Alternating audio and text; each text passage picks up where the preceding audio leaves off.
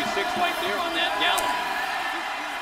On a play fake, Marve to the end zone, touchdown. Gary Bush in the corner of that end zone. And the Boilermakers extend the lead.